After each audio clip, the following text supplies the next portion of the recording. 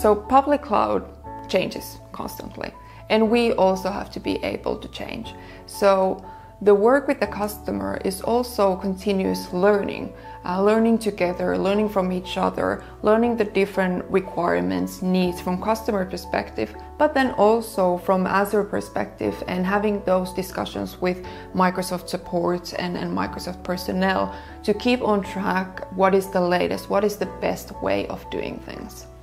Since getting the Azure certificate, um, I believe it really helped me to understand better uh, the entity of public cloud, which then made me understand customers better, which then made me the delivery lead.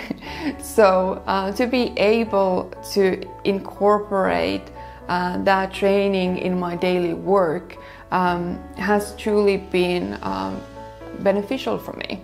When I took the training, I was quite surprised how technical it was.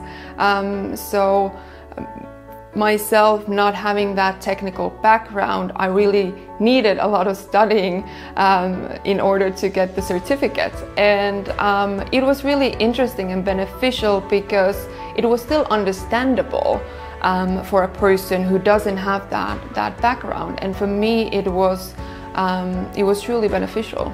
So since the Azure training, I've been really able to uh, better my skills, especially in understanding the customer better, uh, which has then, of course, led to uh, to my role and being able um, to to do my role.